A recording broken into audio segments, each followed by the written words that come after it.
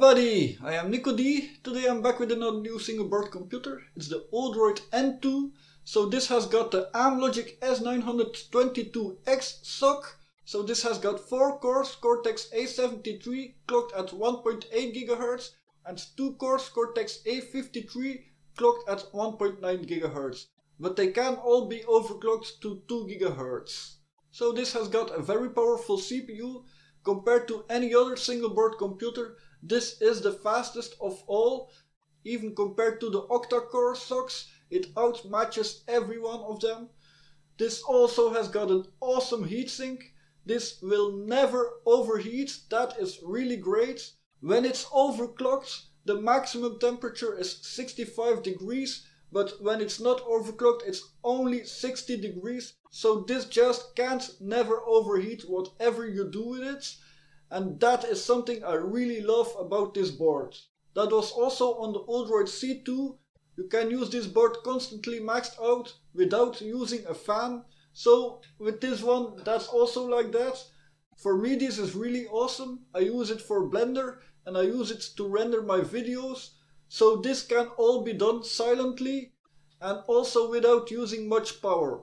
So compared to an x86 PC this uses about 10 times less power while it is half as fast. So that is awesome. There are three Linux operating systems for it now. There is Ubuntu Mate, there is Debian Stretch from Maverick, and there is also an Armbian for it made by Bobs 150. Balbes makes a lot of images for TV boxes and also for the S922X. So he also has made one for the Odroid N2. With Ubuntu Mate there are a few problems auto mount doesn't work right, it isn't very stable. The stretch from Maverick is for this moment a bit better than Ubuntu Mate, but I prefer Armbian from Balbes. I haven't found any issues with that Armbian. I've got this board for about a month now, but there were too many problems to make a video about it.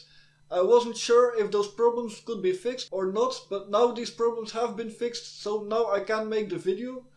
Uh, one problem was the gigabit ethernet didn't work. So for this there is a fix now.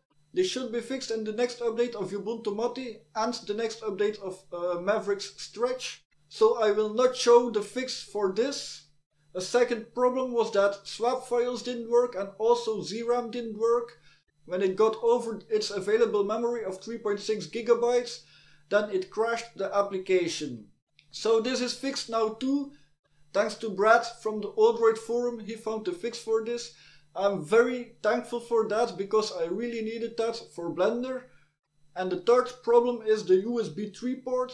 There is interference on the USB 3 ports when you are using a USB 3 device on it and 2.4 GHz Wi-Fi modules. So if you use a keyboard, wireless keyboard, a wireless mouse or wireless internet on the same ports here, and also a USB 3 device, then there will be interference. But for that, you can use the OTG port over here. I use a USB hub and I put all my 2.4 GHz Wi-Fi modules in there. Then there is no problem, then everything is stable with the USB ports. So that is fixed too. So now I can show you everything. So here we go! First the specifications. I will start at the bottom right and go clockwise. So first we see the gigabit ethernet ports. Next to that is the HDMI port. This is HDMI 2.0 up to 4K. Then we've got 4 ports of USB 3, but all these 4 ports are connected over one USB controller, so this means that the 4 ports together only perform at the speed of one USB port. Next to that are two indicator LEDs and then the barrel jack. Then we see the UART connector. Then the SD card connector. Next to that is the infrared receiver. Then we've got the eMMC connector, so this can have eMMC modules from 8GB up to 128GB. Then there is the boot switch, so you can boot in Petitboot. This means you can select which boot device you want to boot, or you can leave it on MMC. That means it's gonna boot from the eMMC or from the SD card. Next to that is the OTG micro USB port. So this is USB 2.0. So it's great it has this because it only has got one USB 3 controller. So that one USB 2 controller on top is very good. Next to that is a 3.5mm audio jack. Above that is a RTC connector for real-time clock. And as last there is the 40 pin GPIO header. There are 4 RAM modules, 2 on the front and 2 on the back and also the SoC is on the back. I already told you this comes with 4 A73 cores and 2 A53 cores and this comes with the Mali G52 MP6 so this is a very powerful GPU with 6 cores. And for the RAM there is a choice of 2GB or 4GB RAM. And this is DDR4 at 1320 MHz. This board doesn't have Wi-Fi on board. This is a bit a shame. Most boards now come with 5 GHz Wi-Fi and this doesn't have that. To download Ubuntu Mate I type Odroid Wiki, then to Odroid N2 and there to software, Ubuntu.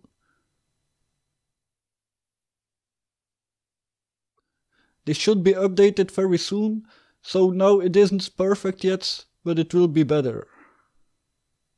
And here is the downloads. For Mavericks, Debian Stretch we need to go to the Odroid forum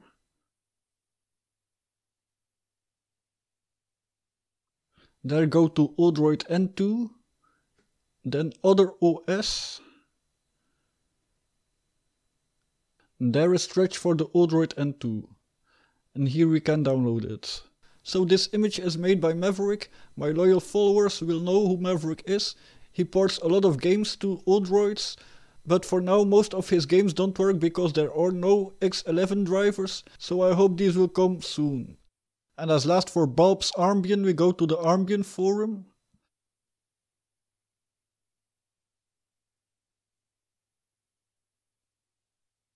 There to TV boxes. And there Armbian for Amlogic S9XXX. Here on the first page are the download links. and the last version is the newest.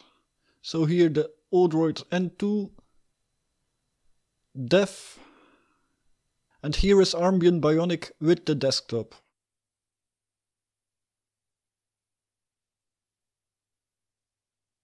Here I am in Armbian. For me this is the best operating system, everything works for me. Kdenlive didn't work in Stretch, here it does work so that is great for me.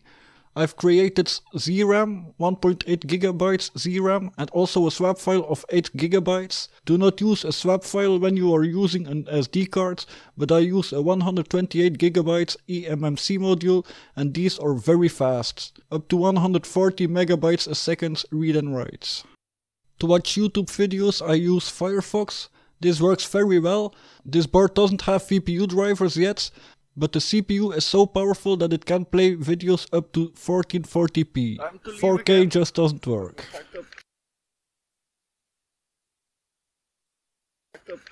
Everything and uh, it's around 10.30 I think. It's uh, still in the morning, the sun is out, it's looking very nice. I didn't put my solar panel on there because I've charged one of my big batteries over there so uh, that's not necessary. I don't know where I go.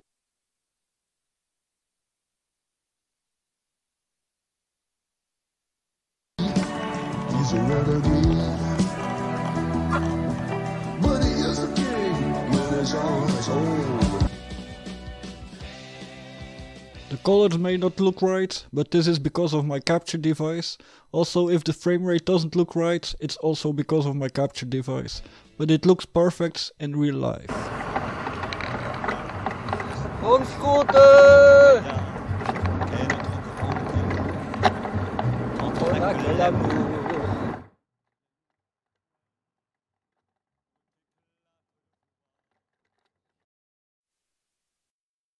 As you could see up to 1440 was perfect, but in 4K the image doesn't move anymore. I am using a display resolution of 1080p. If you use a higher display resolution, then it could be that 1440p doesn't work anymore. With normal video files it's the same. 1080p plays perfect, but 4K doesn't play well.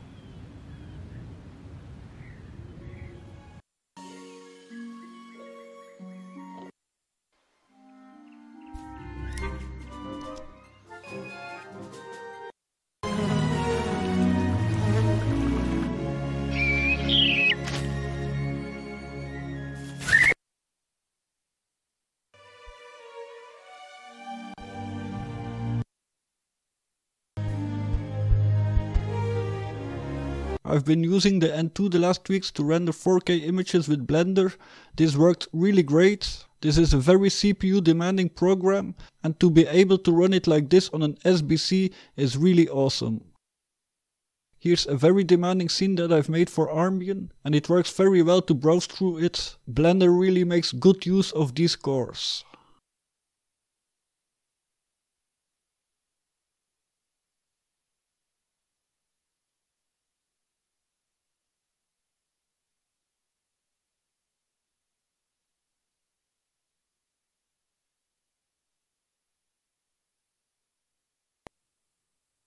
So if I render this in 4K with all the settings to max, then we see that it quickly uses all the RAM and it starts to fill up the ZRAM and the swap file. So for this it was really necessary that swap and ZRAM works.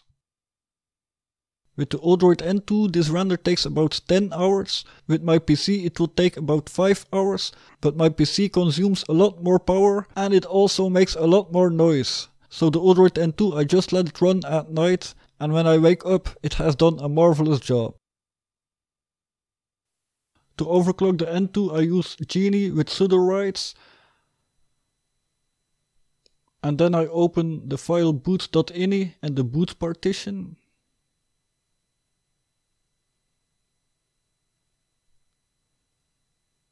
And there we can change these for me these settings worked well, but the highest setting of 2 GHz didn't work. That wasn't stable anymore.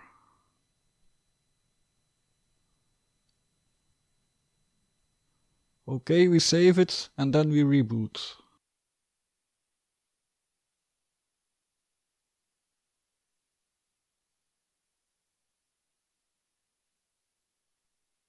Here the result of the BMW Blender benchmark in Armbian Bionic. So the default time was 50 minutes and 55 seconds and the overclocked time was 47 minutes and 58 seconds. So it is 3 minutes difference. This is 6% faster. So if we compare that with other SBCs, you see that there is no match for the Odroid N2. It is almost 20 minutes faster than the NanoPi M4. I do need to do all these tests again on all the other SBCs I redid it on the NanoPi M4, but the others I have to do again. Something has changed which makes it a little faster, but the difference isn't that big. So all the others except the N2 and the M4 should be a few minutes faster.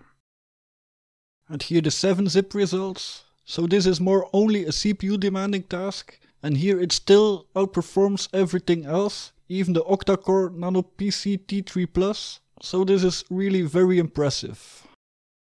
So my conclusion about the Odroid N2, it is really an awesome beast. The CPU power of it is really impressive. I haven't seen anything like it and I hope I will see more like this in the future. This is very close to a perfect desktop computer.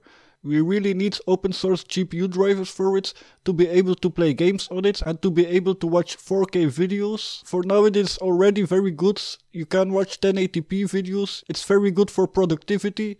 I use it to offload a lot of tasks of my PC so my PC can be free. And for that task it's really awesome. It ain't the best SBC for a data server.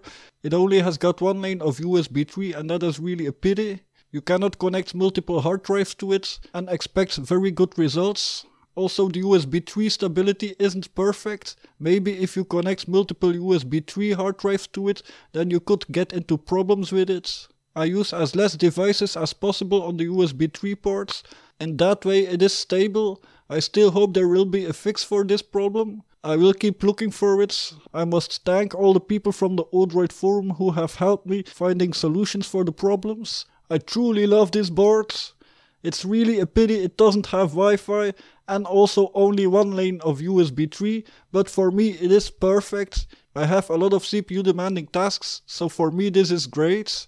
It isn't for everybody. For gaming in Linux, it will take some time before we can do that. You can do that already in Android, but you know I'm not an Android person. Watch the videos of ETA Prime for that.